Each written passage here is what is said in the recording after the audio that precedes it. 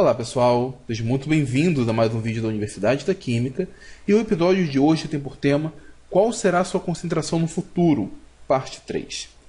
Nos dois vídeos anteriores nós estamos estudando como que nós podemos saber a concentração de uma determinada substância ao longo do tempo. E para isso nós utilizamos as leis de velocidade integradas. Por exemplo, quando ploto um gráfico da concentração de peróxido de hidrogênio ao longo do tempo, eu percebo que existe uma redução na sua concentração. Nós já vimos que essa reação é uma reação de ordem 1. Quando eu ploto um gráfico da não da concentração, mas do logaritmo neperiano da concentração em função do tempo, eu tenho uma reta decrescente. E a partir dessa reta, a partir da inclinação dessa reta, do coeficiente angular, eu consigo obter o valor da constante. Agora, se eu tenho, por exemplo, a decomposição não do peróxido, mas do dióxido de nitrogênio, eu também tenho uma curva representando a redução da concentração do dióxido. No entanto, quando eu faço um gráfico do logaritmo neperiano pelo tempo, eu não tenho uma reta, eu continuo tendo uma curva. Isso acontece porque esta reação não é uma reação de primeira ordem, em si uma reação de segunda ordem. Em uma reação de segunda ordem, eu tenho uma reta quando correlaciono o inverso da concentração pelo tempo. Nesse caso, eu tenho uma reta crescente e da inclinação dessa reta eu consigo obter o valor de K. Hoje nós vamos ver um exemplo que não é nem uma reação de primeira ordem e nem uma reação de segunda ordem. É a decomposição da amônia. Amônia sendo convertida em gás de hidrogênio e gás de hidrogênio. Essa é uma reação que nós chamamos de reação de ordem zero. Ela não depende da concentração da amônia. A velocidade dela, nesse caso, seria constante. Notem que eu tenho alguns dados de decomposição.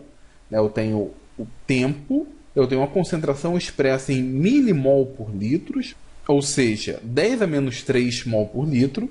E aqui nós temos a redução da concentração da amônia ao longo do tempo. Eu vou fazer um gráfico, como sempre, inicialmente, da concentração pelo tempo. Para as reações de primeira ordem e de segunda ordem, vocês perceberam que formava uma curva. Nesse caso, para uma reação de ordem zero, eu já tenho uma reta. Essa reta me correlaciona a concentração de amônia com o tempo. Esta reta também tem uma equação que a caracteriza. Basta para isso jogar esses pontos no Excel, pedir a linha de tendência, que lhe dá esta equação da reta. Notem que esse 2 aqui corresponde a concentração inicial. Então, o B, o coeficiente linear, corresponde à concentração inicial da amônia.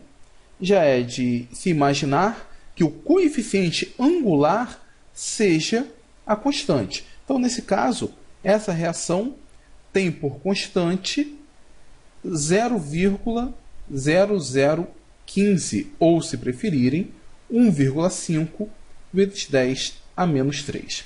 Qual é a unidade? Bom, lembra que por ser uma reação de ordem zero, eu já avisei isso no início do vídeo, a velocidade é igual a constante. Essa é a lei de velocidade para ela. Como a velocidade tem ordem, tem unidades de mol por litro por minuto, mol por litro por segundo, nesse caso específico, milimol por litro por segundo, a constante tem que ter a mesma unidade. Então a unidade aqui vai ser milimol por litro por segundo. Bom, o que, que nós podemos discutir mais a respeito desta equação? Por que, que nesse caso eu não tenho uma curva? Eu tenho diretamente uma reta. Basta nós considerarmos a reação. Como disse, essa é uma reação de ordem zero.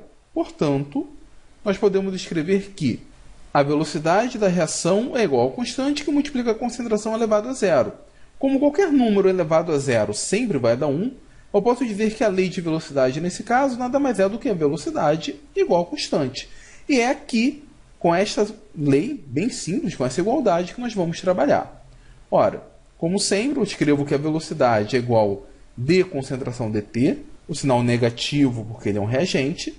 Já tem uma equação diferencial. Eu vou separar as variáveis, vou pegar o dt e colocar do lado de cá.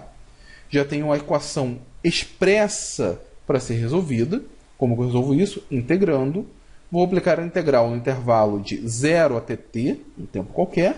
No tempo zero, eu tenho a zero, a concentração inicial, e no tempo t qualquer, uma concentração qualquer.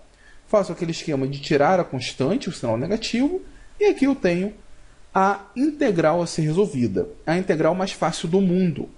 A integral de dx é x final menos x inicial. A integral de dt é t final menos t inicial, lembrando que o t inicial nesse caso é zero. Com a integral de dA é a final, o a qualquer, menos o a inicial, menos a zero, como nós podemos ver aqui. Bom, eu posso rearrumar isso, eu escrevo que a é igual a menos kt mais a zero. E notem que a equação integrada já dá a equação da reta. Né? O a assume o papel de y, o t assume o papel de x, o coeficiente angular é constante, o coeficiente linear é a concentração inicial. Por isso que quando eu faço o gráfico de concentração em função do tempo, para uma reação de ordem zero, e apenas para ela, eu não tenho uma curva, eu já tenho uma reta. E a partir daqui eu consigo obter o valor da constante. Notem que um gráfico concentração por tempo só dá uma reta se for uma reação de ordem zero. Se der uma curva, aí vai ser uma reação de ordem 1, de ordem 2, de ordem 3. E para resolver esses casos, aconselho vocês a ver os vídeos anteriores. E aí, pessoal? Gostaram do vídeo? Não, eu espero que sim. Aqui na Universidade da Química você encontra outros vídeos a respeito de cinética que podem te ajudar. Aproveite, indique esses vídeos para alguém que você conheça, que esteja precisando, e clique aqui embaixo, se inscreva na Universidade da Química.